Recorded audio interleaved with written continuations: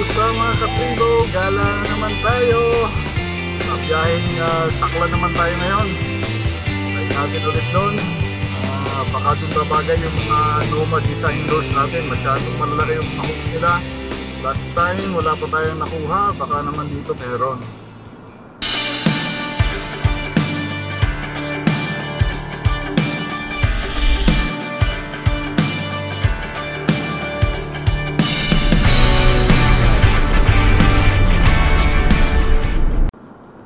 Biyahe na tayo. Siguro mga estimate natin mga 4 to 5 hours drive ito.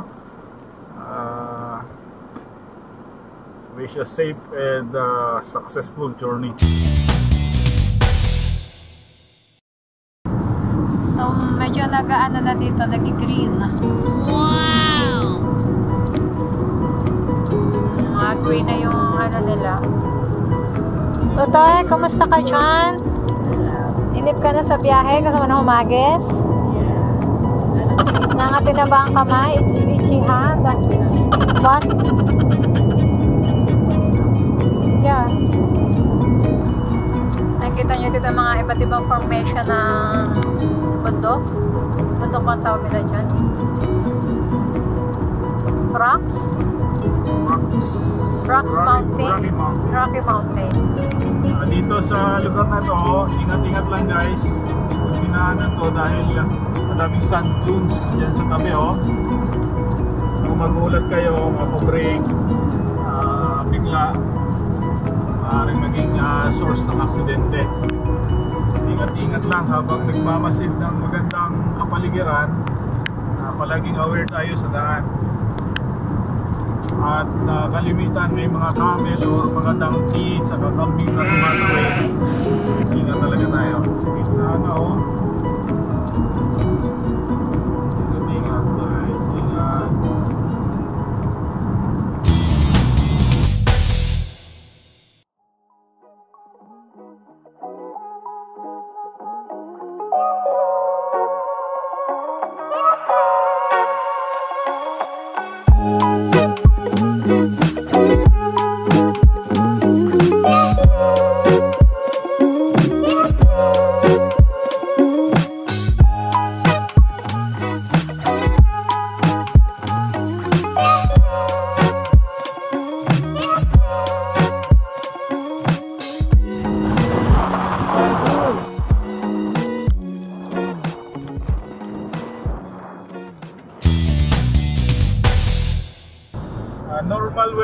Alaskara yung hangin at alon. Ito, wala talagang bakanting gazebo rito. Ang napakaganda dito, mga kaibigan, mga kababayan, medyo nakakaingit talaga sila rito. Wala kang babayaran sa beach na yan. Uh, pinagawan pa sila ng mga gazebo, ganyan. Hindi nagbabayad mga tao rito sa beach.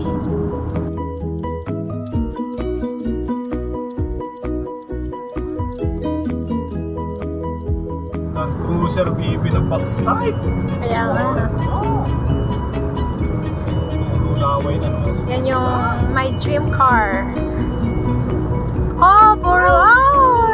Cruiser naman. Bibigyan ko pagkakataon at bibigyan ko regalo yan. Oh, yan po, Land Cruiser. Land, Land, Land Cruiser. Cru, cruiser. Pwede rin po yan. Yan po. Yan po pwede rin po yan. Yan, mga ganyang type po, mga gusto ko. So guys, so papangarapin po na natin. Natin pagtatrabahuhan yan. Guys, like, subscribe para may pambili ng box type car si Mami Nomad. Alright, left Ano tayo? Makita nyo yung sign ng Bandar Al-Sakla. And then left turn. And straight ahead. Straight lang guys.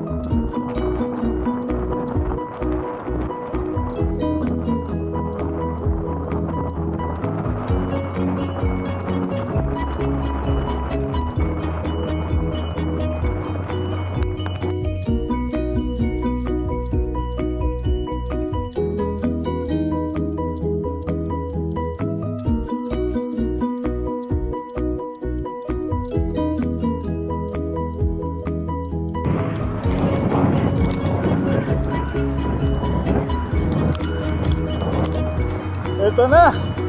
Dagat. Woo!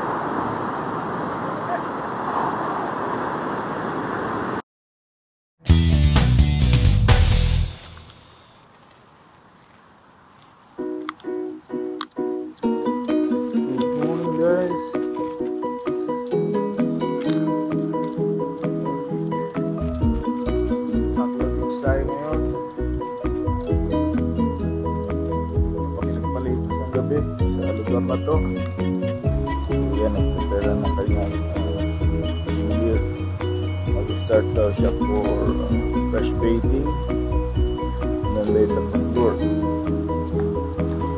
Nandito si Herbalife saka si Teacher Sheriff. Fishing din sila. Yung tent. Ang buwan, palubog pa lang. Ah, ganda ng spot. Tingnan natin kung may mahuli tayo.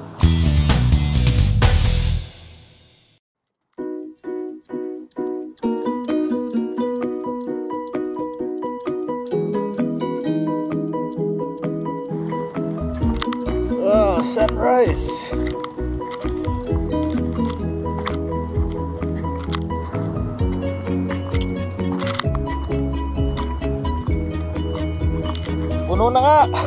Oh,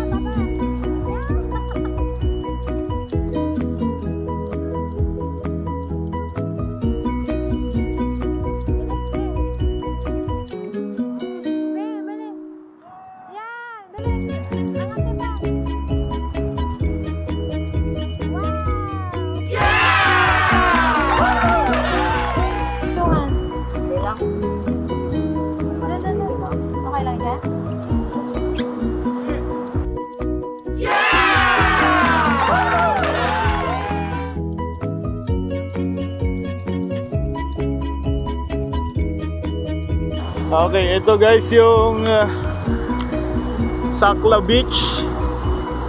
Actually, mas ah, mas tamang tawagin siyang Sakla Rocks. Sa kabila, yan dito, dito yung Sakla Rocks. Makita nyo naman, puro bato ito. Ah, magandang platform for ah, fishing.